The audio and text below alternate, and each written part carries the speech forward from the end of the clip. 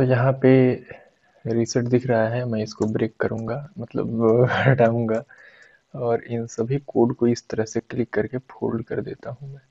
यहीं पे हमें सारा कोड करना है और मुझे करना क्या है, आज मैं आप लोगों को रन करके दिखाऊँ। तो ये देखो रीसेट बटन पे जैसे क्लिक करते हैं हम तो कुछ होता नहीं है। क्लिक किया इस पर कुछ हो नहीं रहा है। तो मैं चाहता हूँ कि जैसे इस पर क्लिक करूँ तो इसी तरह से ब्लैंक फॉर्म हो जाए, रीसेट हो जाए पूरा फॉर्म। तो कैसे करेंगे तो देखिए वही आज हम देखने वाले हैं। रीसेट के लिए मैं क्या करूँगा? ओपन हो जा, ये देखो, ये सारे टेक्स्ट बॉक्स हैं तो इन सभी टेक्स्ट बॉक्स में एम स्ट्रिंग सेट करना है। तो कैसे करूँगा? देखो आप लोग। Add add student dot name dot set text. और यहाँ पे कर दिया मैं empty स्ट्रिंग इसी को कॉपी करके नीचे आऊँगा, यहाँ कर देंगे एफ़ नेम इसी करके नीचे कॉपी करके आऊँगा और यहाँ पे कर दूँगा एम नेम मतलब इसी तरह से हम करेंगे, आप देखो। रन हो जा ये देखो। जैसे यहाँ पे कुछ लिखा, फिर कुछ लिखा, फिर कुछ लिखा। तो अब आप देखना, जैसे रिसेट बटन पे क्लिक किया तो ये दोनों एम्प्टी हो गया। तो मैं ऐसे कहीं पेस्ट करके कर दूँगा, पर मज़ा नहीं आ रहा है। इस तरह से हम कितना कॉपी पेस्ट करें, मज़ा नहीं आएगा जी कॉपी पेस्ट करके। तो हमें क्या करने का, हम इसका एरे बनाते हैं और फिर लूप चला करके पूरा रीसेट कर देते हैं। कैसे? मैं थोड़ी देर में इन सभी का नेम लिख के यहाँ पे आता हूँ। देखिए, इस तरह से मैंने क्या किया सभी का एरे बना लिया। अभी एक लाइन में जो है फिट नहीं हो रहा है, यहाँ तक आ गया। तो मैं क्या करूँगा कि यहाँ पे आऊँगा, इन सबको लाइन ब्रेक कर दूँगा नीचे। इस तरह से। इस तरह से मैं सभी का क्या करूँगा एंटर एंटर मार के नीचे लाइन ब्रेक कर दूँगा। देखो कैसे हो रहा है। तो ये थोड़ा सा दिखेगा सिस्टमेटिक टाइप से आपको।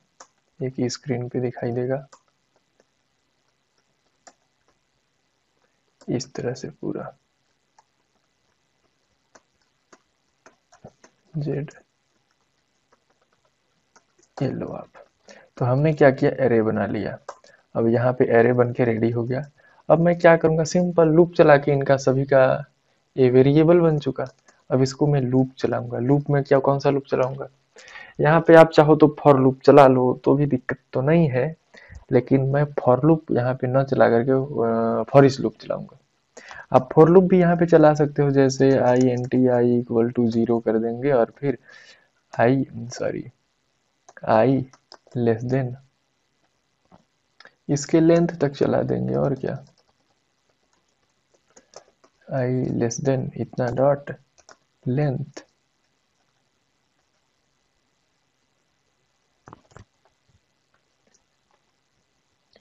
text box length हम नहीं निकाल सकते क्या यहाँ पे?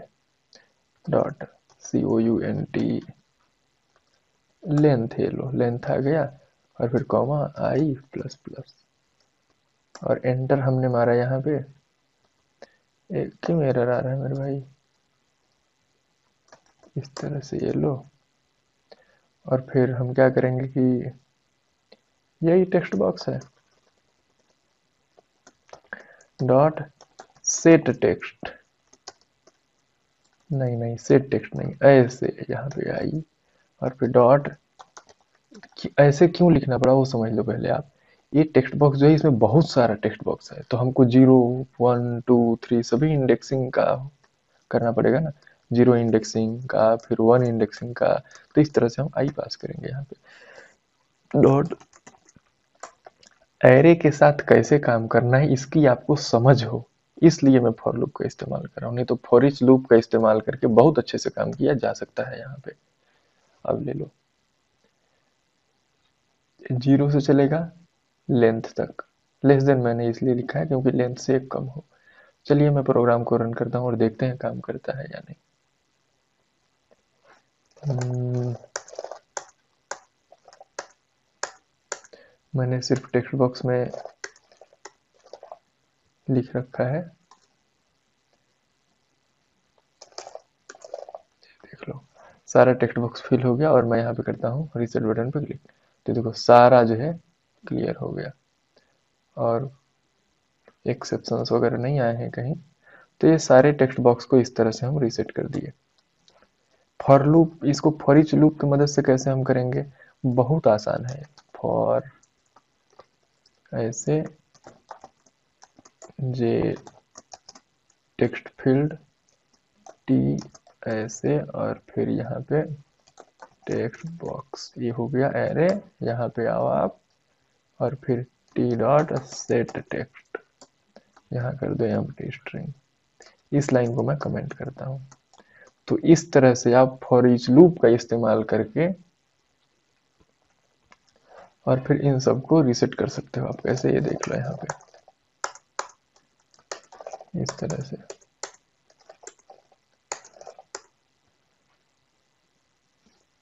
इस तरह से आप इस्तेमाल करके ये देखो रीसेट बटन पर क्लिक किया पूरा ब्लैंक हो गया तो ये फॉर लूप का इस्तेमाल यहाँ सिंपल एक लाइन है इसलिए यहाँ पे ज़रूरी नहीं है कि आप दो इस तरह से भी आप लिख सकते हो ये लेकिन मैं यहाँ पे भी ज़रूरत नहीं है सिंगल लाइन स्टेटमेंट में ज़रूरत नहीं होता तो आप फॉर लूप का इस्तेमाल करो या फॉर ईच लूप का इस्तेमाल करो, कोई फ़र्क नहीं पड़ता। आपको फॉर लूप से एरे का अंडरस्टैंडिंग होना चाहिए, इसलिए मैंने इसको इस्तेमाल किया। यहाँ पे बाकी कोई रीजन नहीं है, मैं फॉर ईच लूप ही इस्तेमाल करता। क्या डिलीट कर दिया मैं? ये लो तो इस तरह से यहाँ हो गया। काम मैं छोड़ दे रहा हूँ, इसको डिलीट नहीं कर रहा हूँ। आप कभी याद करना, देख के भूल जाओगे तो। अब हमें क्या करना है? डेट ऑफ़ बर्थ तो डेट ऑफ़ बर्थ और डेट ऑफ़ सबको मैं रीसेट करूँगा यहाँ पे। Dot D O A dot set date क्या करता है? नल रिटर्न करता है। कब नल रिटर्न करता है? जब हमारी डेट सिलेक्टेड ना हो तो, तो मैं यहाँ पे नल कर दूँगा। हो जाएगा काम हमारा। मैं प्रोग्राम रन करके आपको दिखा देता हूँ। ये देखो। मैंने कोई डेट यहाँ सेलेक्ट किया। यहाँ से भी कोई डेट सेलेक्ट किया। रीसेट बटन पर क्लिक किया तो ये नल कर दिया गया पूरा। खत्म कहानी। तो ये डेट के लिए हो गया। मेल फीमेल का जो है, उसको भी करना पड़ेगा हमें। तो यहाँ पे मैं dot B U T button group है। इस बटन ग्रुप के अंदर ही मेल और फीमेल का रेडियो बटन है। तो इसी पर हम एक मेथड चलाएँगे क्लियर सिलेक्शन ये क्लियर हो जाएगा। आप देखो कैसे क्लियर होता है। सेलेक्ट किया फीमेल को रिसीव किया क्लियर हो गया। इसको सेलेक्ट किया क्लियर हो गया। अब आता है ये, इनको कैसे मैनेज किया जाए? तो इनको मैनेज करना भी बहुत आसान है, कोई बहुत बड़ी चीज़ नहीं है। आप देखो इधर। डॉट सेट सिलेक्शन इंडेक्स नहीं, ऐसे नहीं, यहाँ पे लिखना पड़ेगा course course dot set selection index यहाँ पे मैं पास कर दूँगा ज़ीरो इसी तरह से नीचे भी पेस्ट कर दूँगा। ये भी जो यहाँ पे कैटेगरी दे दूँगा। कैटेगरी कॉम्बो बॉक्स हो गया, फिर से मैं रन करता हूँ। और आप देखना कि ये हो जाएगा। देखो कैटेगरी में मैंने क्या सिलेक्ट किया? सिलेक्ट कर लिया ये, नीचे आके। जैसे क्लियर किया है सिलेक्ट आ गया। यहाँ पे भी आप दोनों जगह ट्राई कर लो। अब दो ही कॉम्बो बॉक्स है तो इसीलिए मैं इस तरह का कोई एरे वेरे नहीं बना रहा हूँ। और दो ही ठो डेट ऑफ़ बर्थ के लिए है तो मैं कोई एरे वगैरह नहीं बनाऊँ। आप बना सकते हो, इसी तरह से एरे बना करके लूप चला करके, इसको भी रीसेट कर सकते हो। कोई दिक्कत नहीं है। इसके बाद, नीचे ले आता हूँ मैं। इसके बाद हमें क्या सा रीसेट करना है। इस फ़ोटो को भी गायब कर देना चाहिए। तो देखिए फ़ोटो गायब करने के लिए हमें क्या करनी चाहिए? Dot P H photo photo label में है। तो इस फ़ोटो डॉट वेट वेट हमें सबसे पहले तो फ़ोटो को खाली करना है तो मैं जाऊँगा आइकन क्लास के अंदर। आइकन आइकन इंटरफेस इसको कमेंट आउट करते हैं। ये आइकन नहीं चाहिए, मुझे अपना वाला आइकन चाहिए यूटिलिटी वाला आइकन डॉट सेट इमेज पहला है जो बटन में सेट करता है इमेज दूसरा फ़ंक्शन मैंने बनाया है सॉरी मेथड बनाया है जो कि लेवल पे सेट करता है। ये ले लेंगे। यहाँ पे हमको क्या चाहिए जी? Icon dot no image no image वाला यहाँ पे डाल देंगे हम फ़ोटो और हमको कौन सा लेवल में नो इमेज लगाना है? तो इस वाले में। इतने से काम हुआ नहीं है? इतने से तो खाली फ़ोटो सेट हुआ है। नो इमेज अवेलेबल वाला। अब नीचे फिर से हम आएँगे। और ये फ़ोटो ये फ़ोटो इनपुट स्ट्रीम टाइप का है। अब इसमें पास कर देंगे नल ये लो, इस तरह से। ये कौन सा फ़ोटो है? तो यहाँ पे ये वाला फ़ोटो में हम नल पास करें। फ्रेश होना चाहिए ना रीसेट में। पुराना हो सकता है कि पुराना इमेज सिलेक्टेड हो और वही सिलेक्टेड रह जाए तो हम इसको भी नल कर देंगे।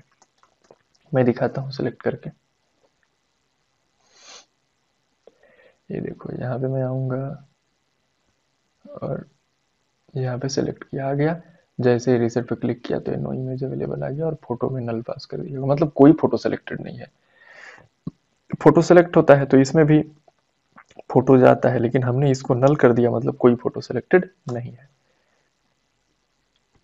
अब आता है सर्टिफिकेट वाला लेबल तो मैंने यहाँ पे लिख रखा है। ऐसे कर दो डिलीट इसको भी आप चाहो तो एरे में बना सकते हो। बना दें क्या एरे में ही? इस तरह से।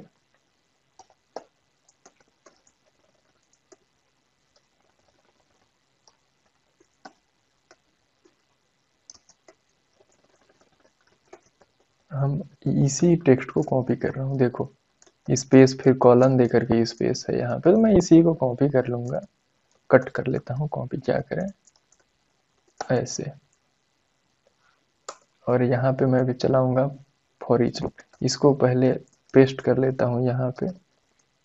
और यहाँ पे मैं करूँगा जे लेबल ऐसे, फिर एल इक्वल टू ऐसे, यहाँ पे ऐसे। और फिर फॉर्म के अंदर सारे लेबल हैं तो ये फॉर्म डॉट ऐसे करूँगा मैं। इस तरह से मैं कर दूँगा। इस तरह से मैं कर दूँगा। एक मिनट इसी तरह से मैं इसको स्पेस दे देता हूँ खाली, ताकि आपको रीड करने में आसान हो, और मैं कुछ नहीं करूँगा यहाँ पे। बस फॉर ईच फिर J label equal to J label को लेबल कॉलन गलत स्पेलिंग होगा तो मुझे इस बात से प्रॉब्लम नहीं है अभी।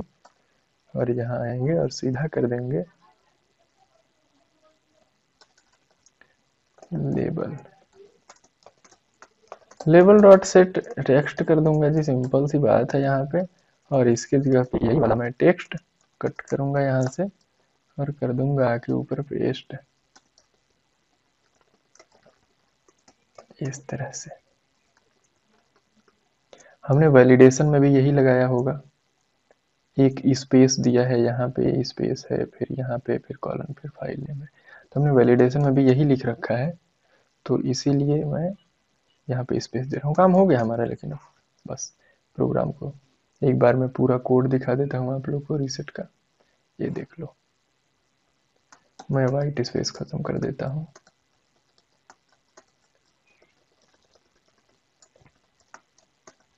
ये ले लो आप। ये देखो, यही पूरा रीसेट का कोड है। यहाँ से कर ली ब्रेसेस ओपन यहाँ कर ली ब्रेसेस बंद, यही पूरा रीसेट का कोड है। मेरा प्रोग्राम आप देखना पूरा रीसेट होगा। यहाँ पे आता हूँ मैं। इस पर क्लिक किया फ़ोटो सेलेक्ट हो गया।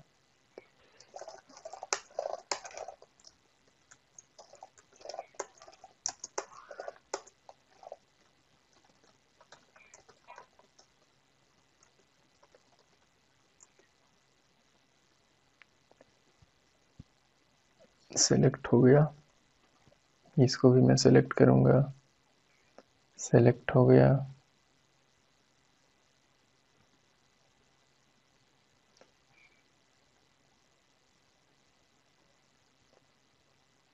इन सभी को भी। और रीसेट बटन पे मैं क्लिक किया। सारा रीसेट हो गया एक बार में। सारा रीसेट तो यही है, बाकी इसमें कुछ और नहीं रखा। चलिए, मिलते हैं कभी और। चैप्टर में